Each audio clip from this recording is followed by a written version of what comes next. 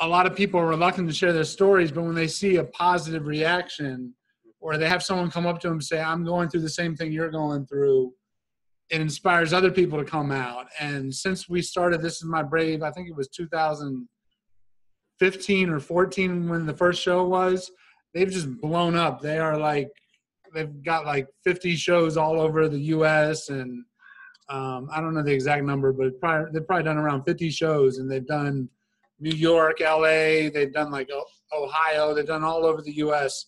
And every show has about 20 people telling their own story in their own words. And they do it through music, they do it through uh, poetry, they do it through testimony.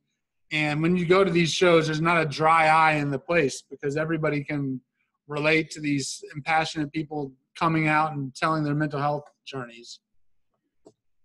So the documentary was made about a year ago. Um, I think it was like a year and a half. A year and okay, yeah, it was posted about a, about a year and a half ago. Yeah, have there been um, any updates in terms of any updates or things that just didn't make it into the doc, documentary? Things that um, like, there were interviews with some of my friends, including other musicians, and for brevity, they were left and content like the flow of the documentary. They left them out, but you can watch them online. If you want to see some of my friends talk about their experiences with when I was manic or with my music. Um, also, um, since then, I w- when the documentary was filmed, I wanted to attend graduate school, and since then, I've started graduate school. I'm in my third year, a four-year program for a master's of social work. So I'm going to VCU, which I know is not Virginia Tech, but they're all right. It's not UVA either. Yeah, but um, I'm in my third year of a four-year program, and it's challenging, but it's really pushing me to kind of brush up on the clinical clinical aspect of mental health. And I had an internship at a substance abuse facility because I come from the mental health world where I've been working for eight years, and um, there is some overlap with dual diagnosis but I got to have a peek into the world of substance abuse and with the opioid epidemic and everything. I got to meet people who are undergoing treatment and hear their stories and um, learn about that world too. Okay, I'm going off script a little bit because okay. because this is um this this has sparked something. What can you has it been? What's the experience been like? Um, learning about something that you live that you that's part of your life both in terms of your experience and the work that you do but then um, engaging it in an academic grad school kind of it's space. definitely been challenging because um, i'm i'm not somebody who had ever really taken a liking to school. I kind of I went to art school, and if anyone here has been to art school, it's not very difficult. um, I, I, think I think my longest thesis was like a page and a half. So you know, I had to learn how to cite sources and APA style and all that sort of stuff. Um, but it's interesting to me because I'm learning what a clinician does. And I'm around clinicians for like eight years. I've been working, I've been like the only peer on my team for a while. And I'm around clinicians all the while. So I have a lot of the jargon and a lot of the words that they say. And I know a lot of the routines and things they do. But now I'm brushing up on the actual nuts and bolts of um, like how to diagnose people and learning about other illnesses that I don't suffer from so I know plenty about bipolar, mm-hmm. and I know a lot about schizophrenia just by working with the schizophrenic community. Mm-hmm. Um, but I'm learning about other other di- like borderline or oppositional defiance disorder. I'm learning about all these other um, disorders that, and you know, post traumatic stress. So I'm learning about all these other things in a way that will equip me if I want to go into a clinical role. I can do that. Documentary the documentary provides some information. For instance, it, it talks about how 5.7 million American adults are affected by bipolar, how many people don't receive the, um, the, the treatment they, they, they need. Um, is there anything additional that to kind of the information that's provided surrounding whether it's bipolar disorder or it's mental illness generally that, well, i think like is mental illness in general is like a continuum or a spectrum. Mm-hmm. and it's not you're either mentally ill or you're not. It's a spectrum of wellness. And you could i mean most of the people in this room i'm assuming are on the well side of this spectrum. I, I don't know your stories. There might be some people who aren't but it's anybody can go anywhere on the spectrum at any point in their life. Um, the statistics are actually one in five have some sort of experience with mental illness in their life somewhere on the spectrum. And as far as being seriously mentally ill, like I was, that's one in 25. So that's a little rarer than one in five. But chances are you probably know somebody or you've been affected or you have a family member or somebody you've heard about who's in the one in five on the spectrum, if not you yourself going through it. And then um, one in 25, that's four out of 100 people with a serious mental illness. And when you see mental illness talked about on the news, it's sensationalized. Of course, with the history of everything that happened here, I'm sure you guys are familiar with the way the news can take a story and run with it. But the average person with mental illness is more li- more likely to live in a group home, like have a job part time bagging groceries, go to a treatment center, take medication. The the statistics say is more likely that people with mental illness um, are victims of violence than perpetrators of violence. So um, I know sometimes the media portrays us as villains, or you watch a cop show and there's a mentally ill Hannibal Lecter type character but I think um, people have been making progress in moving the needle on the conversation.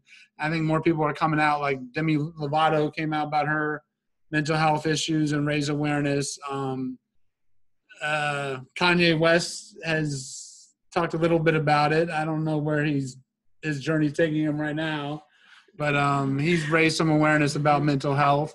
And I think it's a dialogue that maybe 10 years ago we weren't having in the way we're having it now. Like movies like Silver Linings Playbook was a big hit, and that had mentally ill uh, people with mental illness as the main characters.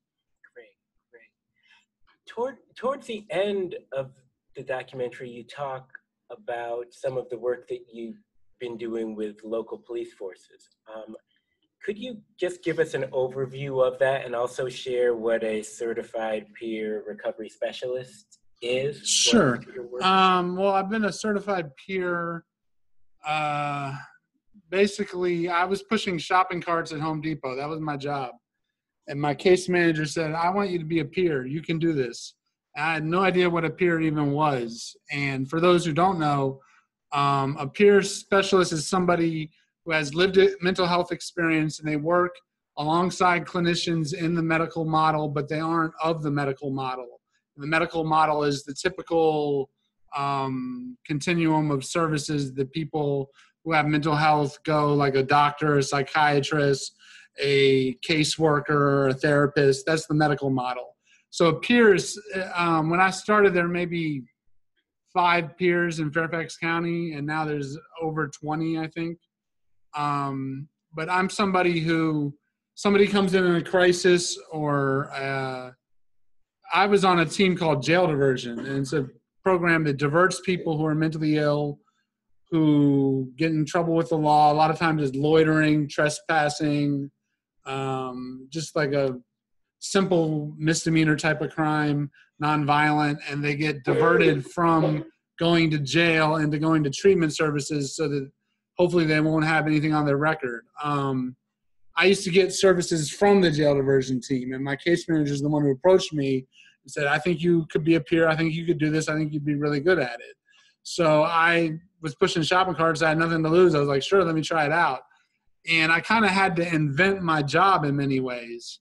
And many things that are cool about my job is that um, it's similar to what case managers do, but I don't do a lot of the work, the heavy lift. I write clinical notes, but they aren't in the same capacity as case managers but I also get to do things that are outside the box. So one of the terms we use is we meet people where they're at. So if you have a mental illness and um, you sit in your basement all day, I'll come to your basement and I'll talk with you. And I don't force you to do anything. I don't say, hey, you need to take meds. you need to go outside. I just meet you where you're at. I get to know you. If you feel comfortable talking, I'll talk to you. If you're not comfortable talking, I'll just leave and come back another time. I had a client who lived in the woods, and I would go visit him in the woods. So we meet the clients where they're at, and we don't force anything on them. We're just sort of a, somebody they can talk to and get to know who has a history that may be similar to theirs. And um, usually, when I meet with a client, I don't volunteer my whole story when I first meet with them. I sort of get to know them, try to build a rapport, and then when I tell them, "Oh, I have a mental illness. Oh, I was in that psych ward. I take medication." Their eyes kind of light up. They're like, "Wait, what do you mean?" And I tell them a little bit more, and then that's kind of like a hook, and they the clinician can then come in and help with the other services that we offer but it sort of forms that bond where like you get it you know what it's like to be tasered by the police you know what it's like to have to take medication or to be in a psych ward and have your whole family think you're crazy so that's sort of what a peer does a peer is somebody who listens that's the primary thing we do we listen to the people um, we serve we get to know them we build that rapport and then we help navigate them through whatever they want to do with their treatment. Um, if that means take medication, we help them take medication. If they want to diet, uh, we help them diet, whatever their wellness looks like for them. And for me, it's fun because I get to do things like I take clients to movies. I have a group on Fridays uh, once a month where they come and they play video games. I get to play video games with them. I started a chess club. I have several clients I play chess with every week I have an art therapy class that I run. So I get to do a lot of things that the normal clinicians don't necessarily get to do. And I enjoy that aspect of my job. As far as the CIT, um, it was very difficult for me because of my history with the police when I first started speaking to the police. But I believe that it's important that they hear stories like mine because if I can affect if there's 20 cops in a room and I affect one of them, and then he goes on, he interacts with someone who has mental illness, and he gives them better service because of what he heard from my story. I feel that that's a benefit. So I've always felt that that's why I decided to speak with the police when I have a kind of rocky history myself with the police. But I've really come to the point where the chief of police in Fairfax is on a first name basis with me and he comes to the This Is My Brave shows and he talks to me about mental health and about things he's trying to do policy wide. Um, we I was a stakeholder on the Diversion First program in Fairfax, and that was a program that was trying to ease the burden that the police officers face when they bring somebody in in the mental health crisis to give them quicker services, get them linked up with services, and because a, a lot of police officers are the first line of defense when it comes to mental health and they didn't sign up to be case managers or therapists, and they're doing that work. And uh, so a program like Diversion First helps them pass the work on to the people like the case managers who should be doing the work. Um, but it has been at times it's been a little rocky, I will admit, because um, sometimes you get lost. I've been in recovery for so long, I'm doing so well. I don't want to be like a token person with mental illness who's on a board who isn't struggling like some of the other people are.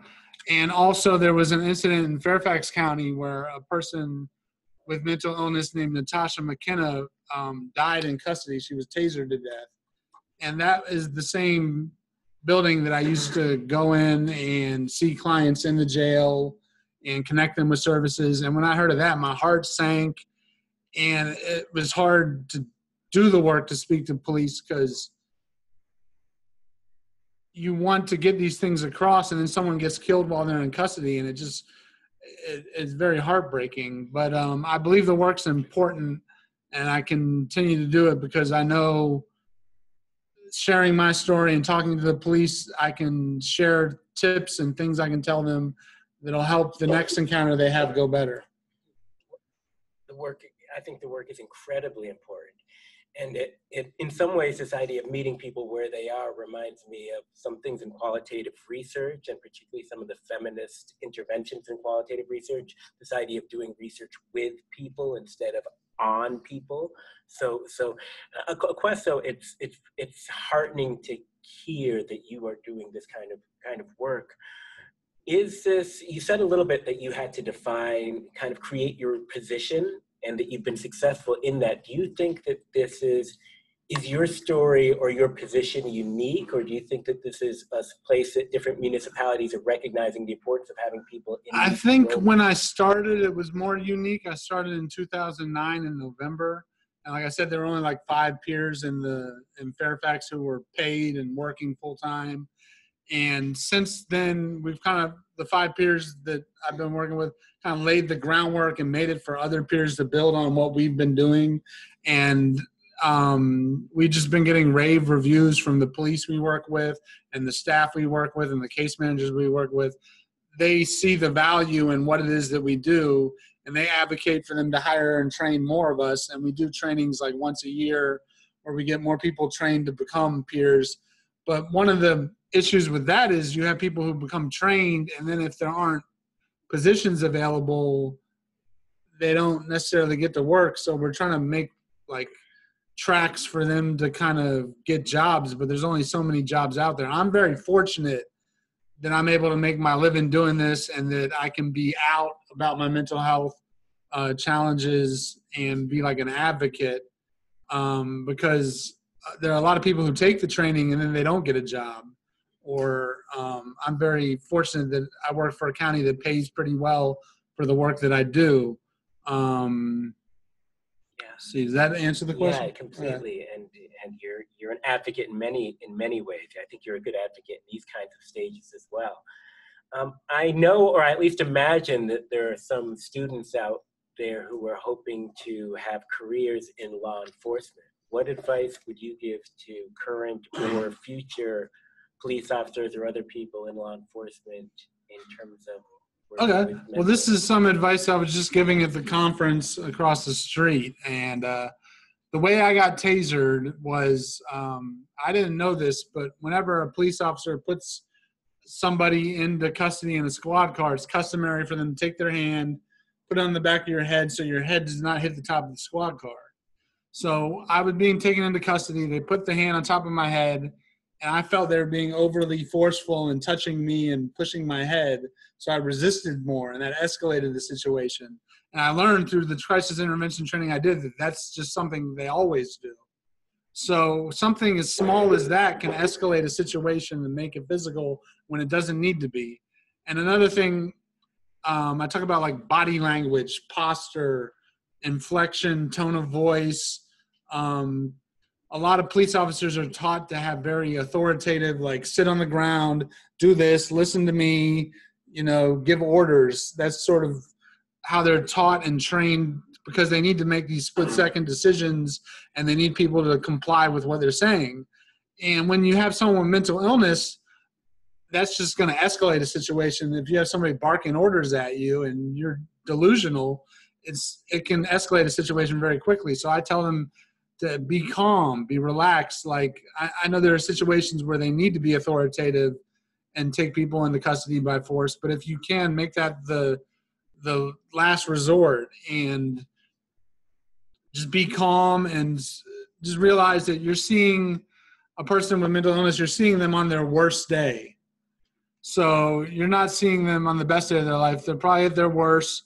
They they might say rude things to you. They might be out of their minds, speaking gibberish, but you don't know what path they're going to go on in the future and what they might achieve or what life they have or who their loved ones are because um, everybody has somebody who cares about them. And um, you, i think you need to see have empathy and see the humanity of the person you're serving when you have to take them into custody. And i know that can be difficult because someone might spit on you or scuffle with you or curse at you, but you're seeing them at their worst and they deserve empathy too. How about from the other side of the interaction? And do you have any advice that you would give to people and maybe particularly someone who has mental illness, at least to the extent that they maybe have some control over over their actions when they are encountering police? Um, this is hard because when you're delusional, it's hard to remember. Like when I was sick, the last thing I was thinking about was the law and my rights and what I should do or shouldn't do. I was going a million miles per hour and I was thinking about you know the universe and God and all these weird theories I have. But um, I was actually talking to you about this last night.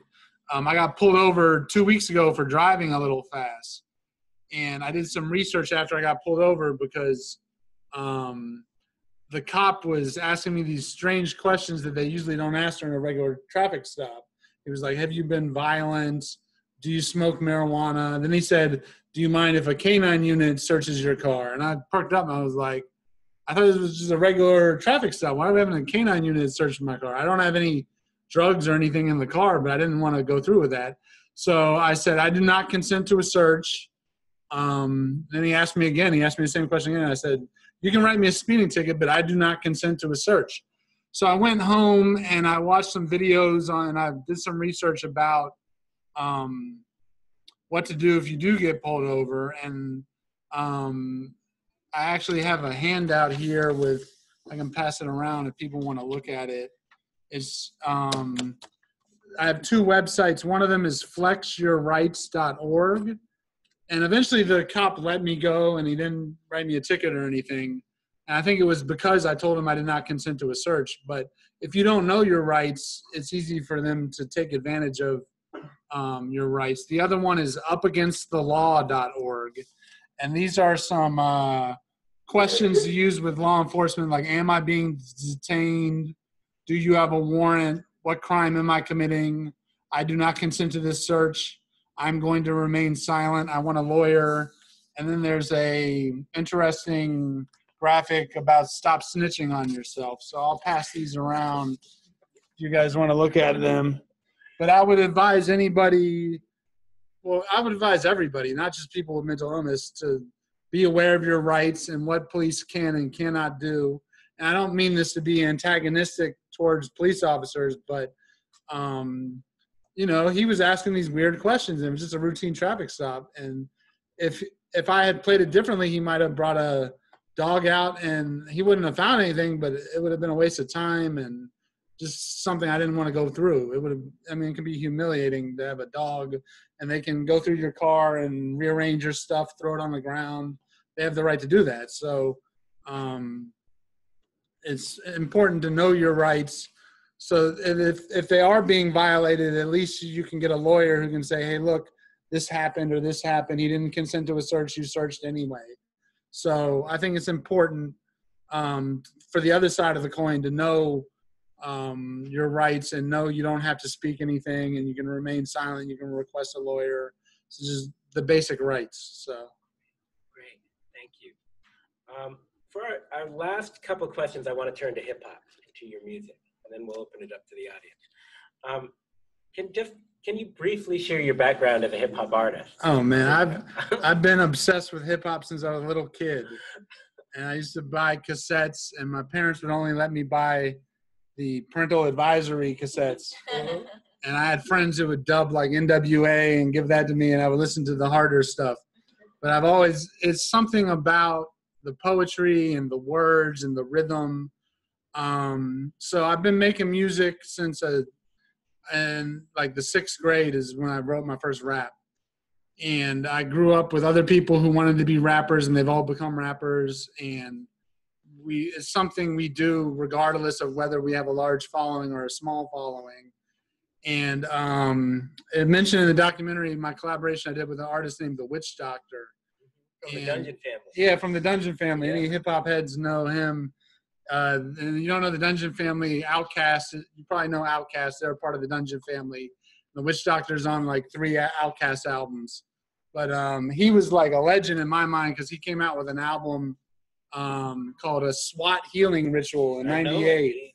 There's only one. Yeah, and and he, to me, it was an introduction to music as a healing. He has a skit on the album where he talks about how words have meaning and they have rhythm and they have their own language. And words are basically spells. And when you speak you're weaving spells. And these stories that you're telling yourself and telling others are like spells that are being weaved. And he talks about how music can heal people and it can heal your soul. So um, when i was in the hospital all i did was listen to music. And that I took it literally, and there were points in my life where I believed in the witch doctor as like a literal witch doctor. So um, I was on MySpace, and anyone who's of a certain age remembers MySpace was the original fa- before Facebook, but it was more music oriented. And I found him on MySpace, and he's not like a big celebrity or anything, but he is to me. And I sent him a message like, "I want to do a song with you." He called my phone from his own number in like five minutes and was like, "Let's make a song." And it was just um, amazing. And the song that we made is called "Just Like You." And he came out with another album in 2007 and our song made that album. It was put out by Williams Street Records uh, yeah through the cartoon network. So i went from being a fan to being on his second album that was released nationwide. So when it came out i went and bought like 20 copies of it and the cashier looked at me weird like why is this guy buying 20 copies of the same album? But um that's probably the biggest reach that my music has ever um, gotten. And um, that was a time when I was still going in and out of the mental hospital um, when that album came out. But um, since 2005, I've been releasing publicly the stuff. I've been making stuff since like 97, but I would just share it with my friends or whatever. But since 2005, I've been releasing online and through websites where you can buy CDs. I know people don't buy CDs anymore but I usually make at least one album a year, sometimes more, because I'm obsessed with music and rap music. And if no one else listens to it, I listen to it. And I always joke that I have more albums than I have fans. but uh, the people who are fans of my music love my music, and they come up to me and they're like, "Yo, this really helped me through a hard time. I was dealing with the same thing. You know, I really liked what you were doing." So um, it's it's an it's like a compulsion or an obsession I have where I if I have free time, I mean I'm in grad school now, so it's hurting me because I can't make the music I want to make. But if I have free time, I make music. That's kind of my therapy session, you know. And I listen to it, and it's like a spell that I'm listening to. It helps me out, and it encourages me. And um, sometimes I'm not doing too well, and I'll rap about my ideals and by listening to myself rap about my ideals it helps me actualize them and achieve them because it may not be true what i'm rapping about but I, it'll become true because i'm putting it out into the universe and i'm listening to it and i'm kind of like training myself for that to happen. We're, we're taping this right? Yeah okay because this is this is philosophy right here. No, this, is, this is amazing. I mean, I'm just the witch doctor has always been my favorite member of the Dungeon family. Yeah. Even with Andre, Big Boi, everybody. Same here, I, yeah. Oh, okay, that's that's great. Um, you've kind of answered my final question, or you've answered at least part of it, really about music oh, yeah. as therapy. But but can you say a little bit deep about your music, particularly how you talk a lot about mental illness and your some of your challenges and struggles and triumphs in your music. Do you oh, okay. about how that can be a form of well, I've noticed recently that it's kind of like trendy to talk about mental health, which I have mixed feelings about, but I think it's good because the conversation is happening. Like, you have artists like Logic who came out with that song where the title of the song was the suicide helpline number, and that was like a huge hit reached millions of people. They said the numbers to the suicide hotline like shot up. So I can't be mad at that. Um, of course, the elephant in the room is someone like Kanye West with "I hate being bipolar" is awesome. And my friends were giving me so much grief because for so up about a month ago, I was like, "No, he's mentally ill. I love his music. He's great." But then he doubled down on the whole. He went to the White House, and I was like, "I mean, I'm not gonna um, diagnose him, but I was reminded of what I was like when I was manic and just talking wildly, and it was kind of painful for someone who you look up to in that way, descending into this and not really. I mean, he's so famous. I don't think he has the checks and balances that a normal person like me would have. Um, so I was hoping he would take what he had been through and be more of a um, advocate for mental health. But I don't know where he's going on his journey now. I hope he can continue to talk about mental health. But the last I heard from him, he denied he had mental illness and he's off his meds and he just believed he was dehydrated and all that. So I think he clearly needs some help. And I was getting a lot of grief from my friend circle for sticking up for him because I was like, y'all don't understand. Y'all haven't been hospitalized. Like, You know, he's he's operating on a different level, but then he kind of doubled down on the whole uh, MAGA thing, and that was why a lot of my friends had kind of written him off. And I'm I'm not trying to get political or anything, but I I do think he's experiencing some sort of crisis that could be helped. Um, but as far as music in general, the first rapper that I'm aware of who really talked about mental illness is Scarface. If you know hip hop, you know Scarface. Uh, sitting in my four cornered room with candles, you know, mind playing trick on me. Like he's been very vocal about having mental illness and depression in his music, and that's sort of like a template I can draw to um, with what I do.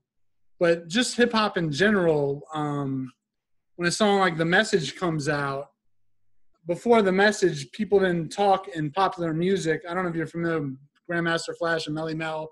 The message is 1982. Yeah, it's, it's a very important song in the history of hip hop. But basically, it was the first song in hip hop to talk about broken glass in the street, kids jumping on mattresses, like how bad the Bronx was. Because back before that, people would rap about how this glamorous life they wanted to live or Hollywood and this was the first like no this is what the real world looks like and before i started talking about mental illness in my music i kind of was just making songs about whatever. But my friend was like you need to talk about what you've been through. You've been through all this stuff and not everybody's been through it. Why don't you rap about that? And it took a lot of like self-reflection and very hard to write songs about that. But the first time i did it and I put it out in the universe, and my friends heard it, and they were all like, "Whoa, this is something you have here. This is like, this is deep." So that kind of encouraged me to kind of. I, I don't want to be like pigeonholed as the the mental illness rapper, but it it kind of helped me pursue that truth of my narrative. Thank you for sharing this. At this point, um, I'd like to open up the floor, and we have some time left if anybody has questions.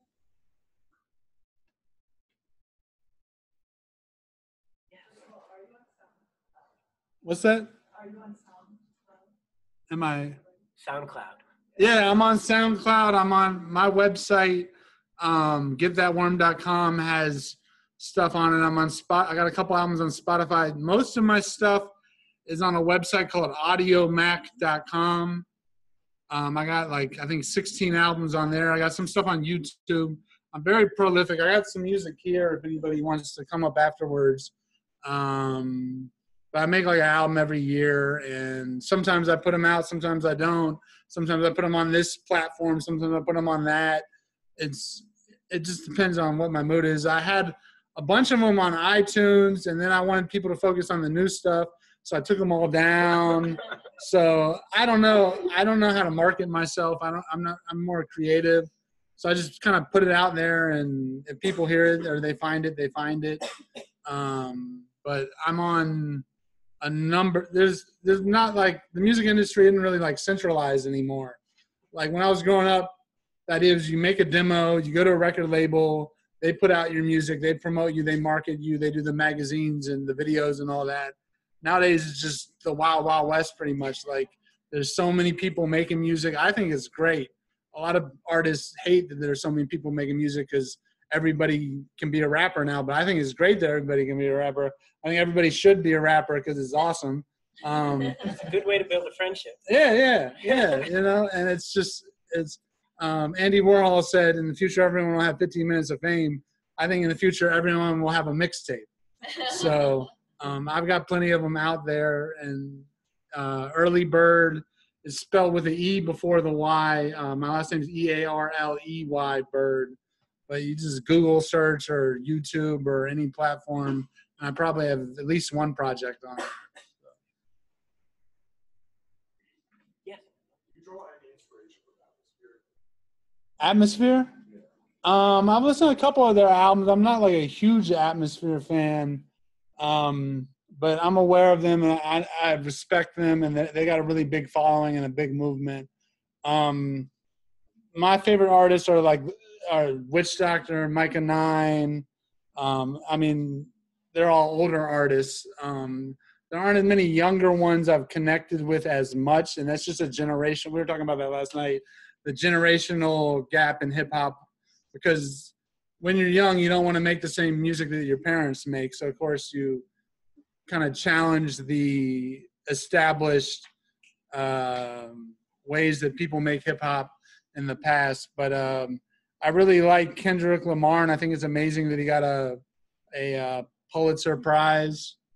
Um, but Atmosphere is cool. I, I, know they just dropped an album a week or two ago.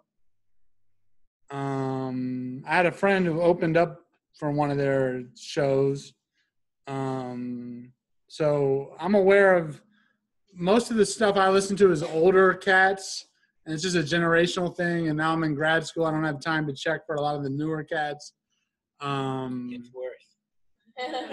It is. It's something you got to keep up with. When I was like 13 to like 22, like I was up on like everything. If you dropped an album back then, I probably heard about. If I didn't listen to it, I probably heard about you.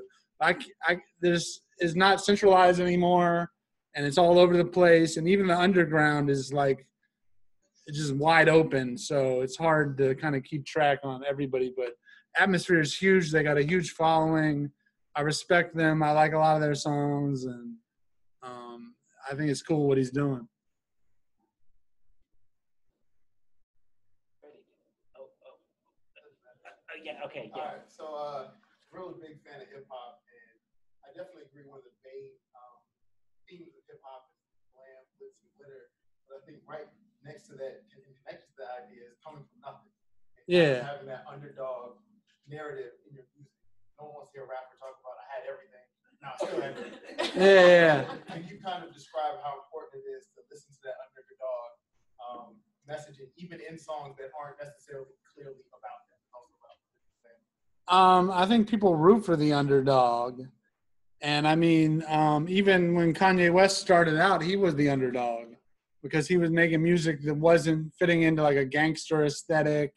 And um, I mean, if you go back to like the 90s, like Tribe Called Quest, Native Tongues were kind of making music like that. That movement kind of faded out, and he kind of revitalized that whole uh, kind of quirky, off kilter type of hip hop. So um, I, I love a good underdog story. Of course, when you have someone like Kanye who then blows up and becomes famous, he's no longer the underdog, and then it it makes it a whole different world. But um, you know, I love underground rap. A lot of the artists who are like my favorite, like nobody's ever heard of them, or they're like, "Who is that?" or they're just obscure. And you hit them up on like social media, and they're like, "Sure, I'll do a song with you." So um, that that's a good thing. But I would like to see some of them get more um, notoriety, but um, there's so many branches of the tree of hip hop that for every group that's like a Drake or a Migos that's successful, you got like all these unknown ones who are just as talented or maybe even more talented who never get like the light of day. Uh, that answer your question? Yeah. Yes. You mentioned uh, Kendrick Lamar. What are your thoughts on artists like that who push out like this politicized message uh, for example, like to, to Pimp Butterfly, uh, talking about like institutional versus Section 80 housing, stuff like that. What are your thoughts on like artists taking on the responsibility to push this message out to the public? Responsibility for what? Like pushing out this message uh, greater than just a story or just like trying to help people. What do you? I think that's great. I commend uh, Kendrick Lamar. I think the body of work he's built is very powerful. I mean, um, he won a Pulitzer Prize. and I, I never would have thought any rapper would win a Pulitzer Prize. And then you listen to his album, and it's kind of like um, I tell this story about Biggie. Um, I was coming back from New York one night, and I had Biggie Smalls' first album, I had Jay Z's first album. And the first one I listened to was Jay Z's first album. It was really cool. I was vibing to it. It was really cool. Late at night, driving home, I was like, this is a good album. Then I put Biggie's in. I got about halfway through Biggie's album. I had to turn it off because it was so emotional and so raw and so powerful that you feel like you're in his psyche and you're like, man, this is troublesome. This is like powerful, the stuff he's talking about. And I feel that way about some of the stuff Kendrick Lamar raps about. It's very, you know, he talks about like police brutality. He talks about being black in America, and I don't know what it's like to be black in America, but I listen to his music, and it, it's like he's an ambassador who can give me a, a view into his world, and um, for him to be able to do that with the power of music, I think is a fantastic thing. And uh, does that answer your question? Yeah. Do you think other artists should take on responsibility? Um, I don't think every artist needs to necessarily be politically active or social. Sometimes you just want to turn up in the club and drink or go to a strip club or something. There's there's an avenue for that type of music too. And I, I was talking about this with Kwame last night. Rap in itself is a political act. It doesn't necessarily need to be about politics to be political, especially if you're a black man in America and you're voicing your opinion. That in itself is a political act, regardless of whether it's over a beat or not. So for people to say, "Oh, these rappers aren't political enough," like you don't like um, an example I use is 2 Chainz. When I first heard 2 Chainz, I thought he was funny, but I didn't think there was much to his story. Then I watched a documentary about him, and I heard about where he grew up and what he escaped, and all the hurdles he had to overcome. And then I understood how that sense of humor was sort of something that propelled him into this greatness, where he's this huge artist now he's selling out arenas and he's platinum and he's on all these songs and and I just like smiled when I heard that story because it was just an amazing underdog story. Somebody who started from the bottom, from nothing, and overcame.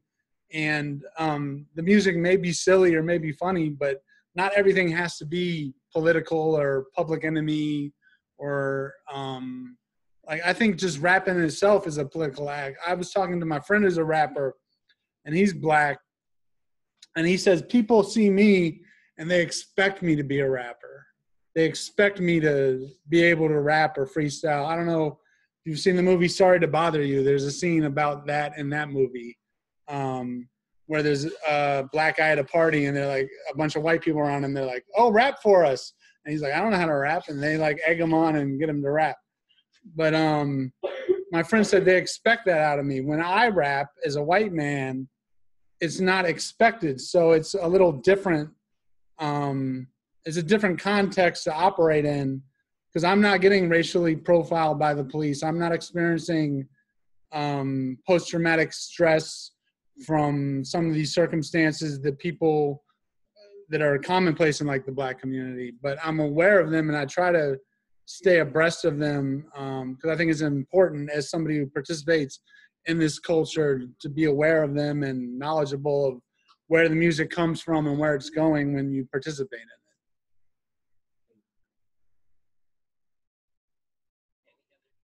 Yes.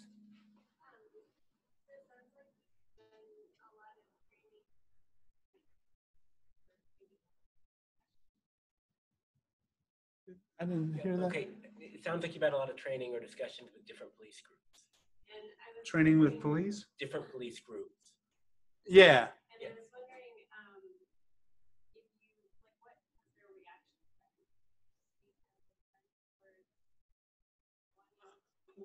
What's the reaction been from the police? Yeah, like, are they looking to change their?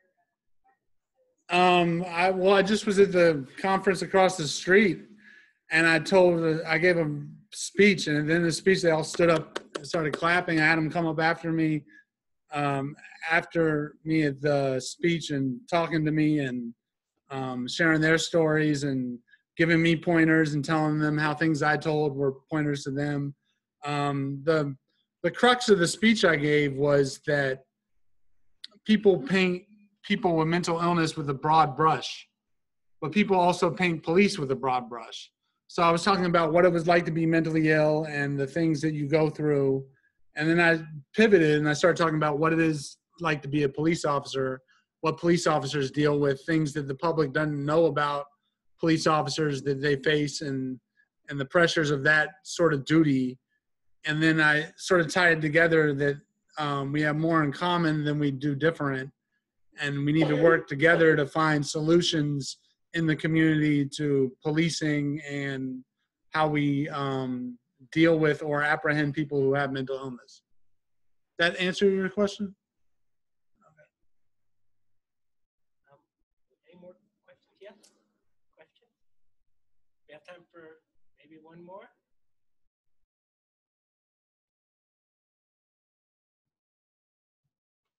All right. Well, I have uh, music for sale. I have my dad's book for sale. We're selling the book for the same price you can get it on Amazon. We're not making a profit off it. It's uh, sixteen dollars. I have music. Come talk to me. I can work out something if you want to buy some music. If you have a CD player, I have um, cassettes. I also have drop cards for people who don't have CD players. If you want to download something. So, thank you very much,